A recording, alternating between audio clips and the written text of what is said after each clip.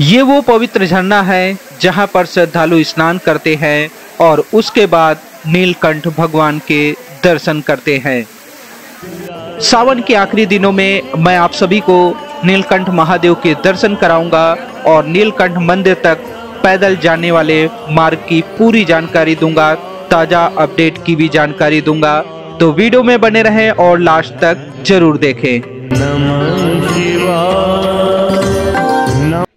क्या नाम है बेटा आपका? पीयूष।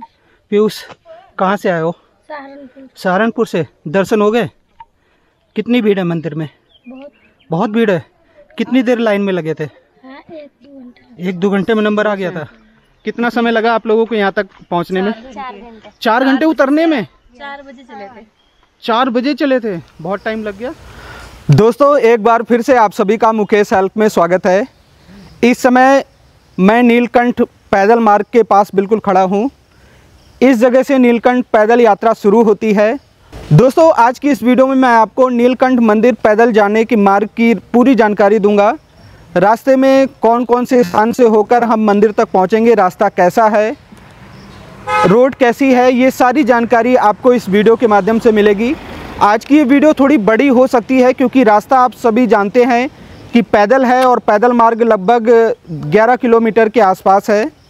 तो अभी हमारी यहाँ से यात्रा शुरू होगी और इससे जो पहले यहाँ से लेकर स्वर्ग आश्रम तक का जो रास्ता है, वो भी मैं आपको इस वीडियो के माध्यम से दिखाऊँगा। तो वीडियो में बने रहें और आप सभी से रिक्वेस्ट है कि वीडियो को लास्ट तक ज़रूर देखें, क्योंकि आज की ये यात्रा आप सभी के लिए बहुत ज़रूरी होगी और भगवान भोलेनाथ के आपको दर्शन भी कराएँगे। मंदिर के जो ताज़ा दृश्य हैं, वो भी इस वीडियो में आपको देखने को मिलेंगे। तो आइए चलते हैं। दोस्तों, यहाँ पर देख सकते हैं नोटिस बोर्ड में कुछ लिखा हुआ है रास्ते के बारे में क्योंकि जो रास्ता है जंगल से होकर जाता है। तो सावधानी रखें और सबसे मेन ये है कि ग्रुप में चलें। लगभग आठ दस लोग आपके साथ हों तब चलें तो ज़्यादा अच्छा रहेगा। बाकी यहाँ पर ये भी बोर्ड लगा हुआ है नीलकंठ पैदल मंदिर तक जाने का जो पैदल मार्ग है वो इस तरफ़ है। जय हो। कुछ देर के लिए आप सभी मेरे साथ बने रहें। और चलेंगे, हम सभी भगवान भोलेनाथ के दर्शन करेंगे। आइए, अब हमारी यात्रा यहाँ से शुरू होती है। नमः भोले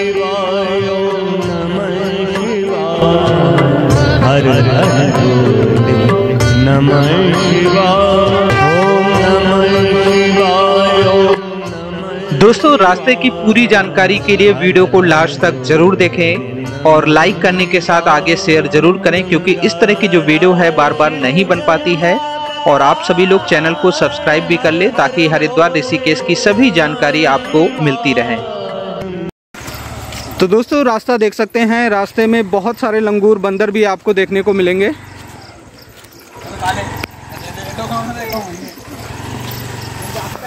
दोस्तों यहाँ देख सकते हैं कुछ लोग दर्शन करके वापस आ चुके हैं। हर हर महादेव भाई साहब। दर्शन करके आ रहे हैं वापस। कितना टाइम लगा था आप लोगों को चढ़ाई चढ़ने में? ढाई घंटे। ढाई घंटे लगे थे। चलो हर हर महादेव भाई साहब।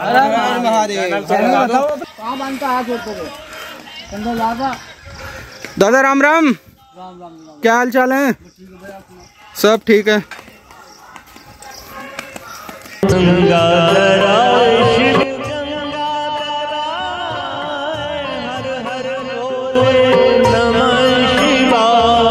दोस्तों, हमारी जो यात्रा है, वो सुबह आठ बजे शुरू हुई थी और जिस पॉइंट पर आपने वीडियो की शुरुआत देखी है, उससे पहले भी थोड़ा सफ़र है, उसकी भी जानकारी मैं आपको इस वीडियो के माध्यम से दूँगा। तो संपूर्ण जानकारी आपको इस वीडियो में मिलेगी और रास्ता कैसा है, कहाँ को मुड़ना है कहाँ पर ज़्यादा चढ़ाई है कहाँ पर ठीक है विस्तार से जानकारी आपको इस वीडियो के माध्यम से मिलेगी। बेटा क्या नाम है आपका? आशीष। आशीष पैदल यात्रा करने वाले हो? हैं। मंदिर तक जाओगे? हाँ इधर देखना इधर देखना। वीडियो बना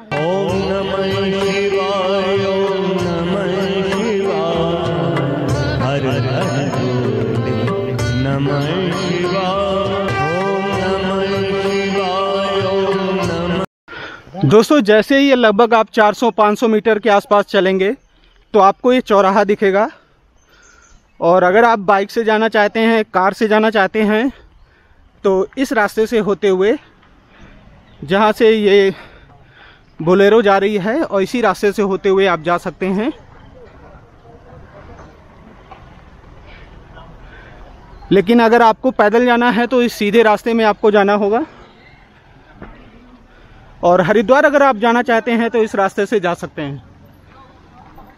ये रास्ता हरिद्वार को गया है और ये जो रास्ता है, ये कार से, बाइक से आप नीलकंठ मंदिर जा सकते हैं।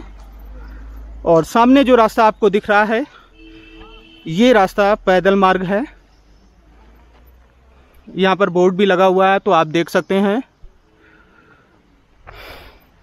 तो आइए आगे चलते हैं।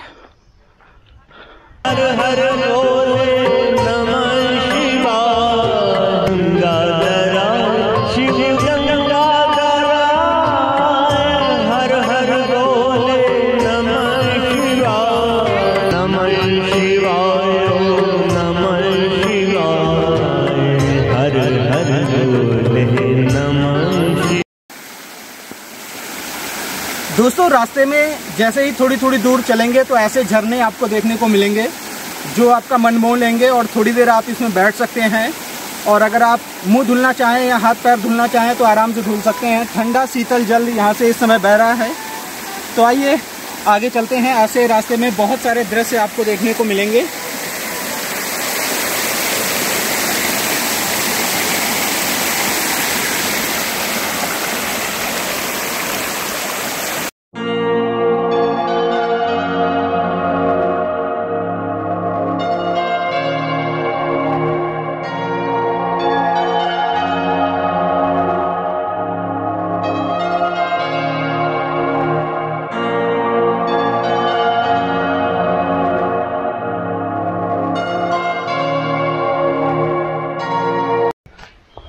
महादेव कैसा लग रहा है आप लोगों को दर्शन करके आ रहे हैं? हाँ आप लोग कहाँ से हैं? बिजनौर से हैं। कितना समय लगा आप लोगों को यहाँ तक पहुँचने में? चार घंटे। उतरने में? चार बजे चले थे। चार बजे चले थे? बहुत टाइम लग गया। और चढ़ाई चढ़ने में कितना समय लगा था? तो अच्छा गाड़ी से गए थे। चलो हर हर महादेव भाई साहब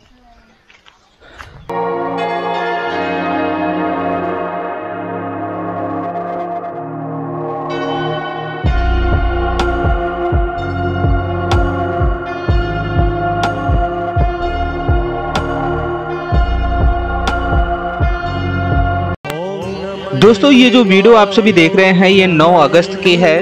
और 9 अगस्त के समय जो सावन के आखिरी दिन चल रहे थे तो उस समय जो श्रद्धालुओं की संख्या थी, वो थोड़ी कम नज़र आ रही थी, लेकिन बहुत सारे ऐसे लोग अभी भी इस रास्ते में थे, जो बुज़ुर्ग हैं, बच्चे भी देखने को मिले। तो रास्ता भी इतना अच्छा नहीं है कि जैसे कि आमतौर पर वैष्णो देवी जैसे रास्ते नहीं है, कि रोड अच्छी हो, प्लेन हो। यहाँ पर कई जगह रोड बहुत ज़्यादा खराब है।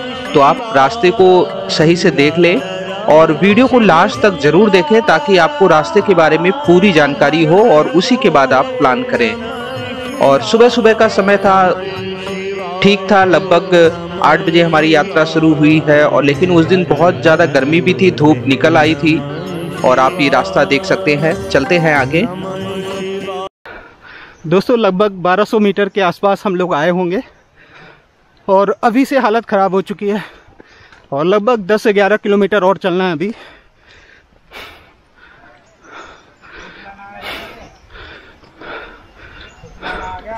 दोस्तों, मौनी बाबा का जो आश्रम है, वो अब आ चुका है और यहाँ से आपको दाहिने मुड़ना होगा।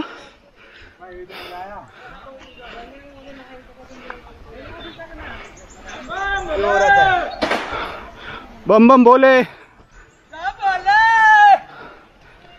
बम बम बोले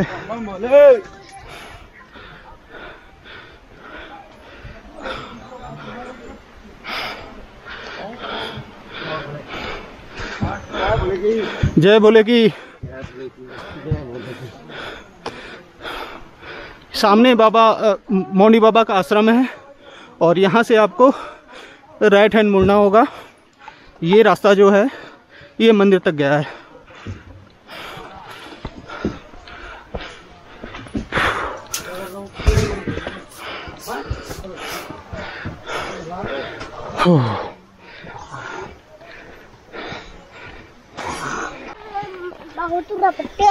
आराम से बेटा।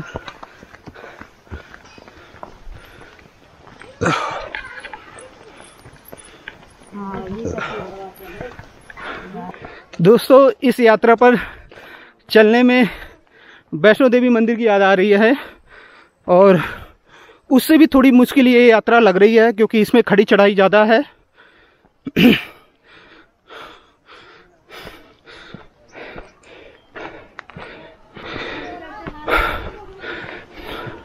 दीदी हर हर महादेव।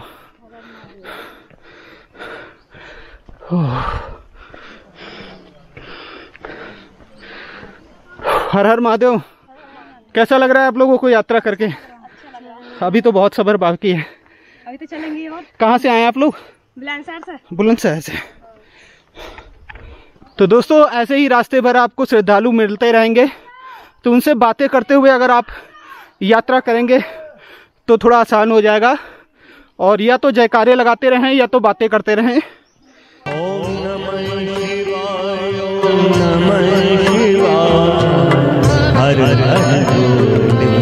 नमः नमः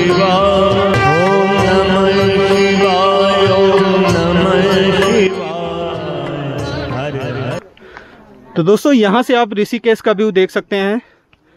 और लगभग अभी दो किलोमीटर के आसपास ही हमने यात्रा पूरी की है।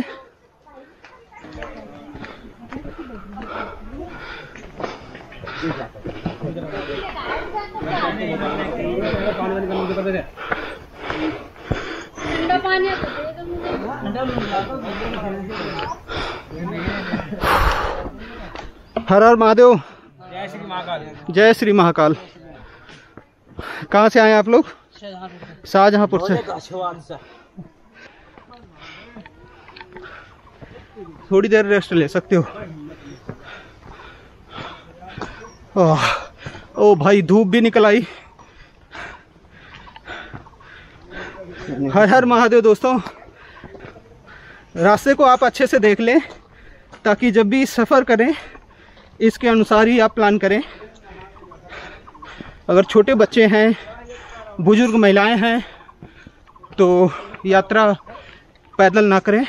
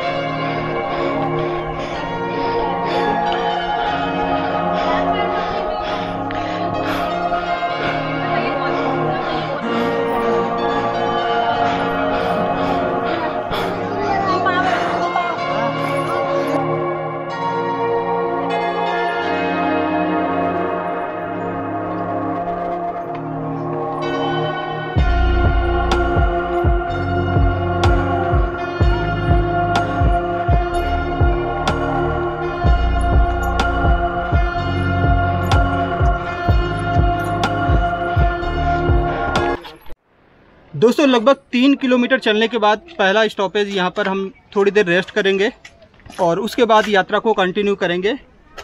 और अभी एक भाई साहब मिले थे जिन्होंने और हिम्मत हमें दी है कि यहाँ से मात्र छः किलोमीटर के आसपास यात्रा अभी बची है।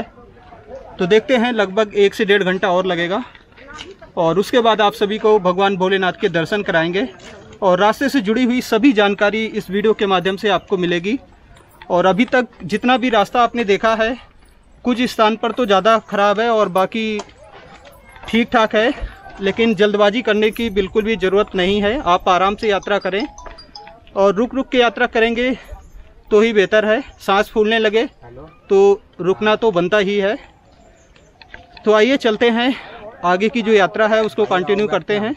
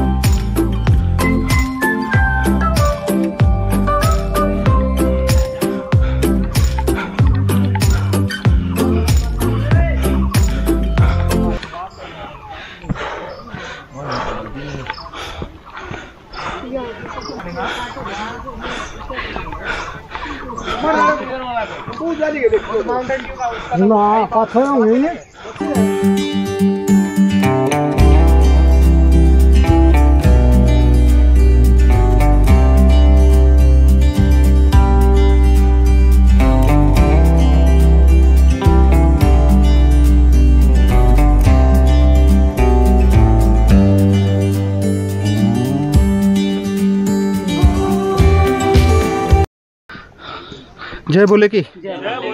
कहाँ से आप लोग आए हुए हैं? हम सहारनपुर से आए सहारनपुर से?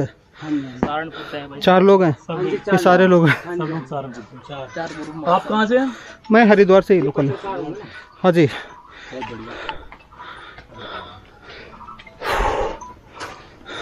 आप लोग कहाँ से हैं? पानीपत से?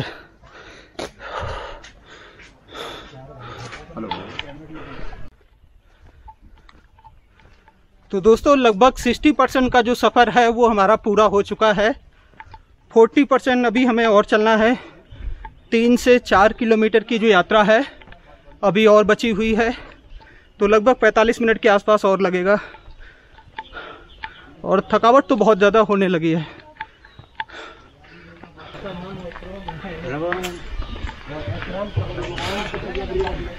दोस्तों, इस रास्ते में चढ़ाई कई जगह पर बहुत ज़्यादा है। तो वही मैं कहना चाहूँगा कि आराम से चले। जैसे आप लोग वैष्णो देवी की यात्रा करते हैं, उसमें तो फिर भी आपको रोड अच्छा मिलता है, लेकिन इसमें कहीं कई जगह पर रोड कुछ ज़्यादा ही ख़राब है। और सबसे मेन बात यह है कि जब भी आप पहाड़ का रास्ता करें या इस तरह की रास्ता करें तो आप ज़्यादा आगे देखने की कोशिश ना करें। अपने से 10 फीट तक ही आप देखें और नीचे झुककर यात्रा करेंगे तो आप आसानी से यात्रा कर पाएँगे।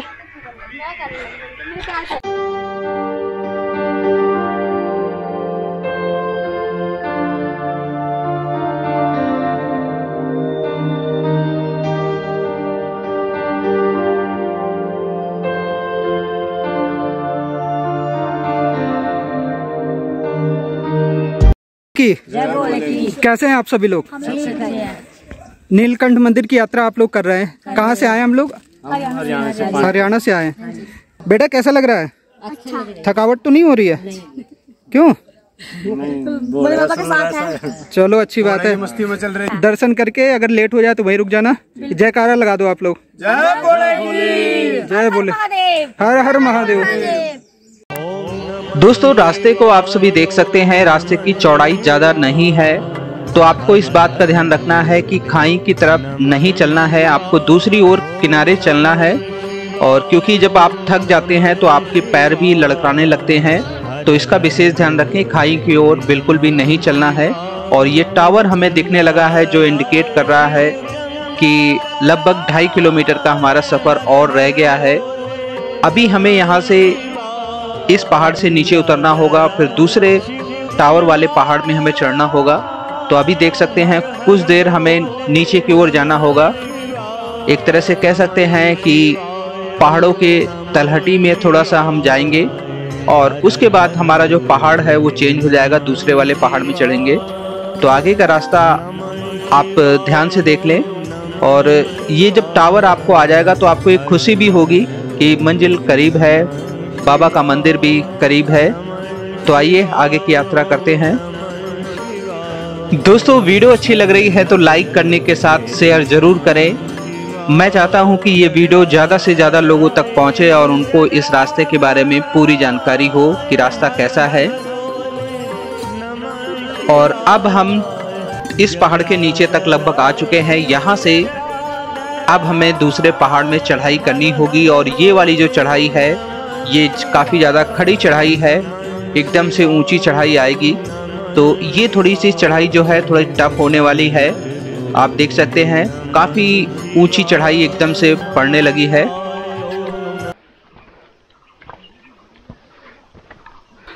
दोस्तों जहाँ पर पैदल चल पाना इतना मुश्किल है वहाँ आप देख सकते हैं लगभग तीस किलो के आसपास ही तखत होगा। तीस चालीस भी हो सकता है। अच्छा पचास से नीचे नहीं है? अच्छा। फटाफट चल जाता है। तो कहाँ तक ले जाएँगे? मंदिर तक? नहीं गाँव तक। गाँव तक? कौन सा गाँव है? ये अच्छा अच्छा। दोस्तों रास्ता देख सकते हैं। और अब इतना ज़्यादा थक गया हूँ कि ज़ुबान भी लड़खड़ाने लगी है। और यहाँ पर एकदम से एक खड़ी चढ़ाई पड़ेगी। और जब खड़ी चढ़ाई लास्ट में आएगी तो समझ लेना कि अब मंदिर के करीब पहुँच चुके हैं। ढाई किलोमीटर है। ओ भाई।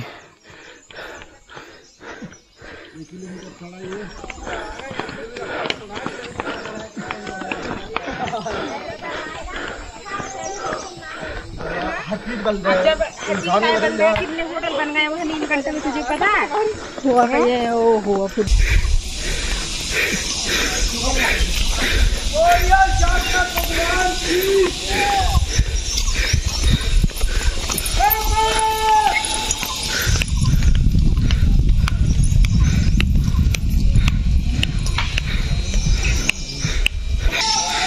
दोस्तों, यहाँ से आप सभी देख सकते हैं, हरिद्वार ऋषिकेश का व्यू यहाँ से नज़र आ रहा है।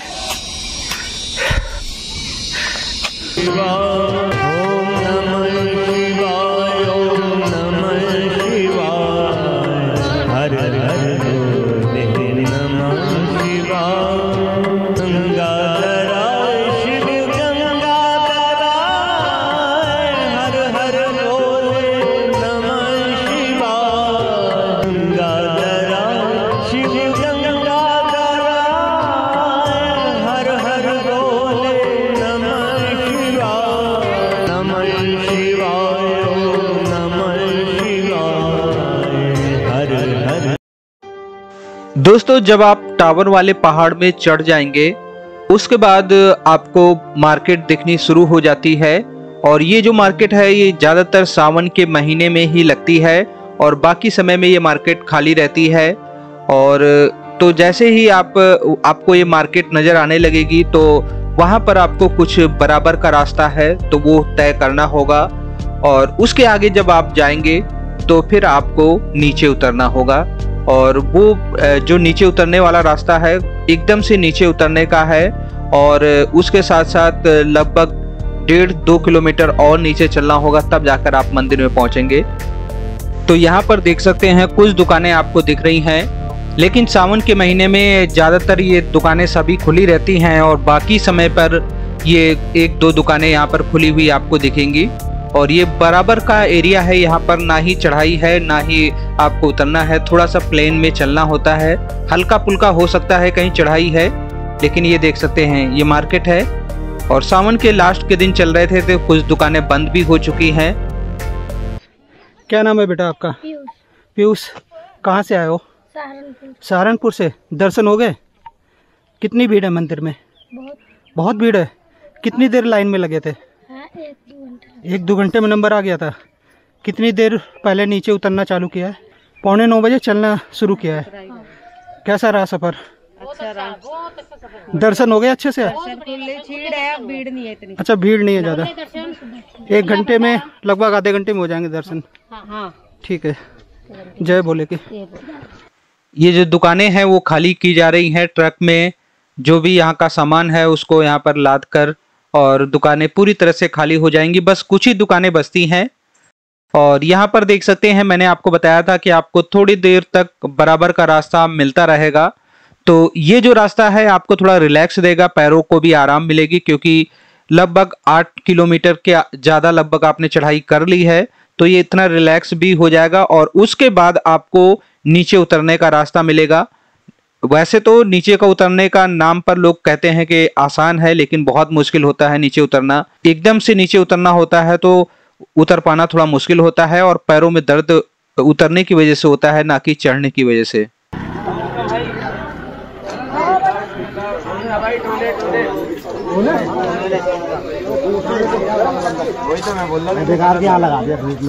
जय बोले की प्रसाद खा के जाओगे या लौट के लौट के। तो क्या भंडारा चल रहा है? हाँ भंडारा है मतलब अच्छा, अच्छा। ये लास्ट कब होगा? आज से ही लास्ट होगा? लास्ट अच्छा अच्छा। प्रसाद खा लो भैया थोड़ा लौट के भैया लौट। लौट। के लौट के। ओम नमः शिवाय ओम नमः शिवाय। हर हर नमः शिवाय।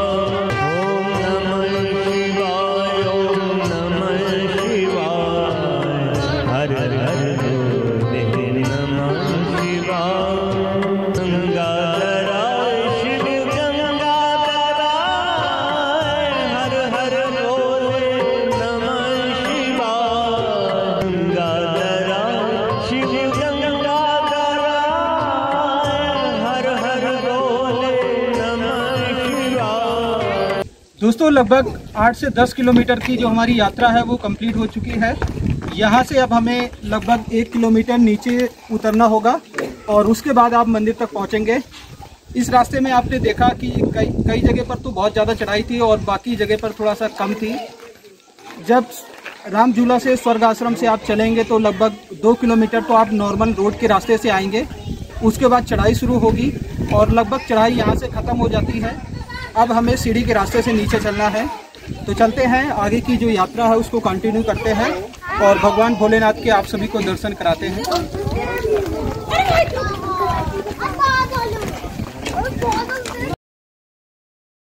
दोस्तों, अब हमारा नीचे उतरने का जो सफ़र है, वो शुरू हो चुका है।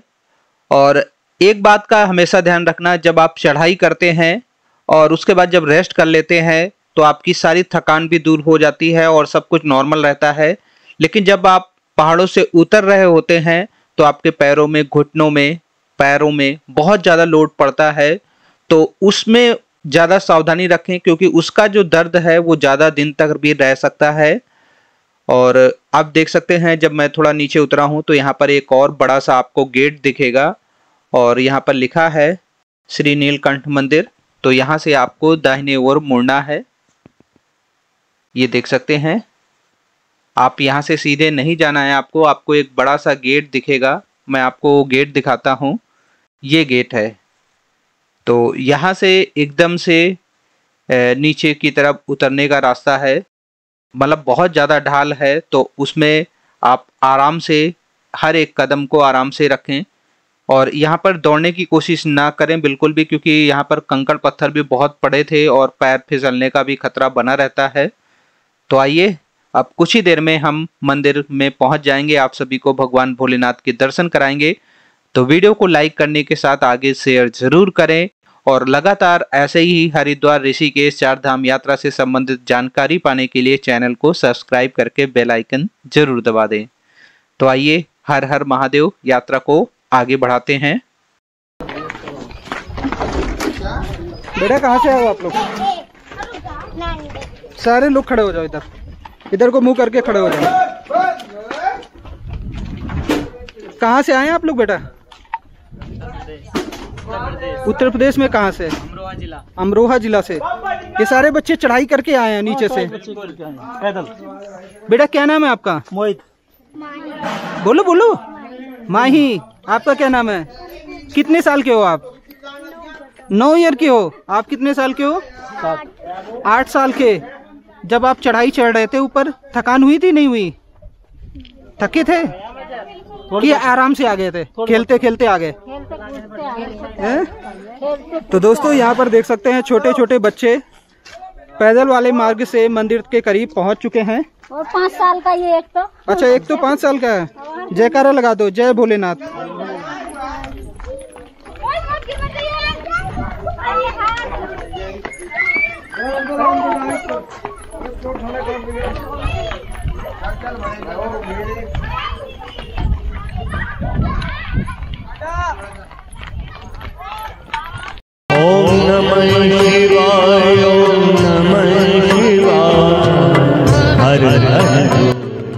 दोस्तों, अब हमारा जो सफ़र है, वो मात्र एक किलोमीटर का बचा हुआ है।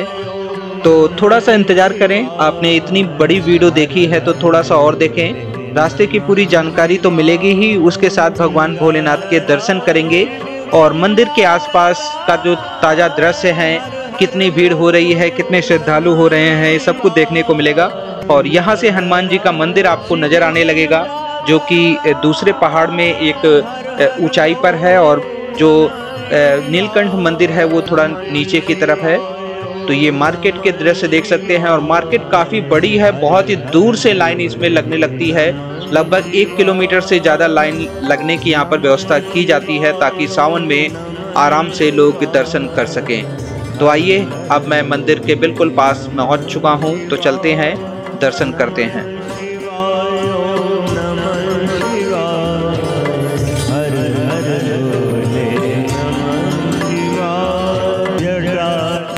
दोस्तों, अब मैं लाइन में लग चुका हूँ। आप सभी तैयार हो जाएँ भगवान भोलेनाथ के दर्शन करने के लिए। और सबसे महत्वपूर्ण जानकारी ये है, अगर आप नीलकंठ महादेव मंदिर जाते हैं तो साढ़े नौ बजे तक आप यहाँ पर पहुँच जाएँ तो आपको भीड़ ज़्यादा नहीं मिलेगी।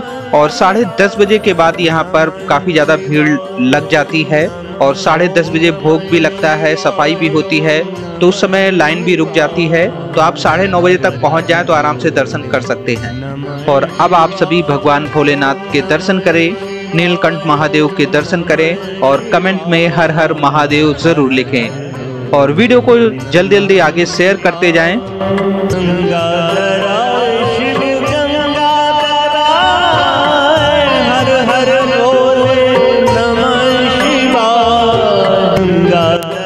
दोस्तों, दर्शन करने के बाद अब हम बाहर निकल चुके हैं और अब मैं आपको यहाँ पर जो अखंड धुना है, उसके दर्शन कराता हूँ। आप यहाँ पर देख सकते हैं, ये अखंड धुना है, बहुत ही मुख्य स्थान है। कहते हैं, यहाँ की जो धुना की भस्म हुआ करती थी, वो भगवान भोलेनाथ अपने पूरे शरीर में लगाया करते थे। तो यहाँ भी दर्शन आप कर सकते हैं और अब चलते हैं मंदिर परिसर में और यहाँ देख सकते हैं।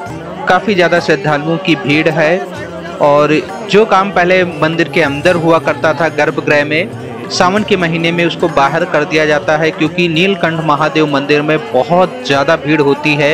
इस वजह से जल्दी जल्दी लोगों को दर्शन करके बाहर भेजा जाता है और बाकी जो प्रसाद है, लोग यहाँ पर चढ़ाते हैं और जो कलावा होता है और उसके साथ साथ और भी जो प्रसाद में, जैसे कि धूप बत्ती होती है, लोग यहाँ पर चढ़ाते हैं, आप देख सकते हैं।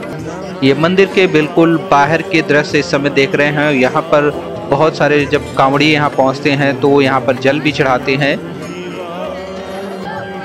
क्योंकि नीलकंठ महादेव मंदिर में कई बार जब ज़्यादा भीड़ होती तो तीन तीन चार चार घंटे लग जाते हैं लोगों को लाइन में लगे हुए।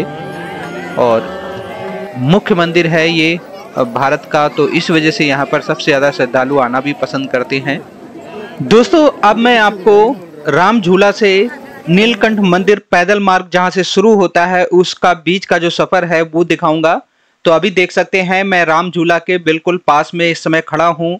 ये जगह जो है, ये स्वर्ग आश्रम है और ज़्यादातर लोग राम झूला के पास ही आते हैं क्योंकि जो ऑटो की पार्किंग है, जो विक्रम की पार्किंग है, वो राम झूला के पास है। तो यहाँ तक तो लोग आसानी से आ जाते हैं और इसके बाद का जो सफ़र है, वो मैं आपको आगे की जानकारी दूँगा। कि यहाँ से नीलकंठ मंदिर तक जो पैदल मार्ग है, जहाँ से शुरू होता है, वहाँ तक कैसे पहुँचा जाए? तो स्वर्ग आश्रम से हम चलते हैं सीधे। यहाँ से अगर राइट आप मुड़ते हैं तो गीता भवन, परमार्थ निकेतन की ओर चले जाएँगे। राइट मुड़कर भी आप नीलकंठ मंदिर मार्ग तक पहुँच सकते हैं। और अगर आप सीधे जाएँगे तो ये चोटी वाला रेस्टोरेंट पड़ेगा। और इससे आगे होते हुए जो स्वर्ग आश्रम का मेन जो इनका ऑफ़िस है वहाँ से होते हुए आप पहुँच सकते हैं तो रास्ते को आप देख लें। ये रास्ता काफ़ी वैसा है, इसमें बहुत सारे लोग भटक जाते हैं और जानकारी नहीं हो पाती है। तो इस रास्ते को तो आप बिल्कुल ध्यान से देखें। राम झूला से बिल्कुल सीधे छोटी वाला रेस्टोरेंट होते हुए मैं इधर आ रहा हूँ। यहाँ पर आपको थोड़ी सी चढ़ाई चढ़नी होगी। और उसके बाद यहाँ पर स्वर्ग आश्रम ट्रस्ट का जो मेन ऑफ़िस है, वो आ जाएगा। आप यहाँ पर देख सकते हैं। राइट हैंड में स्वर्ग आश्रम ट्रस्ट का ऑफ़िस है। ये बहुत बड़ा आश्रम है। यहाँ पर आप रुक सकते हैं। यहाँ पर बहुत सारे रूम भी अवेलेबल रहते हैं। ये देख सकते हैं, प्राचीन गद्दी है स्वर्ग आश्रम ट्रस्ट। तो आपको यहाँ से आगे और चलना है। और थोड़ा सा आगे चलने के बाद आपको राइट हैंड मोड़ जाना है। ये रास्ता जो है मुड़ने के बाद आप सीधे यही रास्ता जो है नीलकंठ मंदिर पैदल मार्ग के लिए जाता है। दोस्तों, इस रास्ते में अब आपको सीधे लगभग दो किलोमीटर की यात्रा करनी होगी। तो सीधे आप जाएँगे तो इसमें एक जगह जीप स्टैंड मिलेगा, फिर थोड़ा सा आगे चलेंगे। तो वहाँ भी एक जीप स्टैंड मिलेगा और वो जो जीप है, वो नीलकंठ मंदिर आपको ले जाएँगी। अगर आप जीप से जाना चाहते हैं तो दो सौ रुपये पर पर्सन आना और जाना शामिल होता है। तो आइए आगे चलते हैं और इसी रास्ते में आपको भूतनाथ मंदिर का एक रास्ता मिलेगा। लेफ़्ट मुड़ना होगा।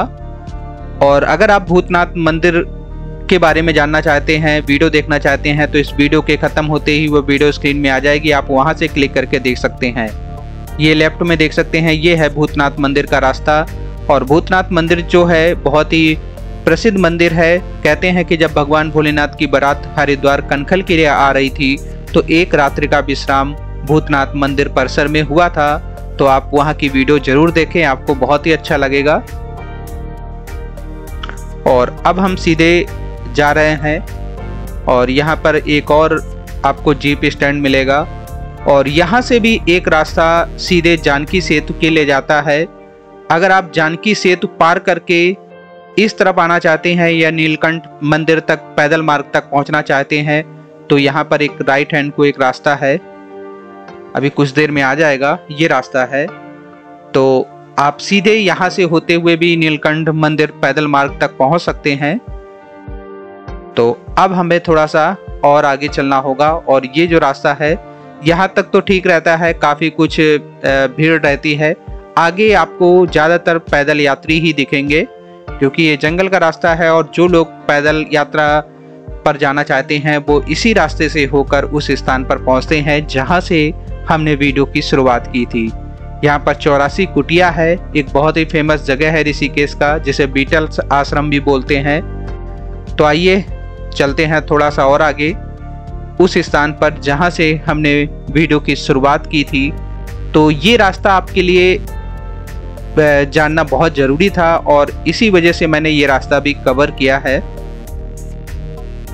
आप देख सकते हैं, ये थोड़ा सा सुनसान रास्ता है और इसमें मैक्सिमम पैदल यात्री भी, पैदल यात्री ही आपको दिखेंगे।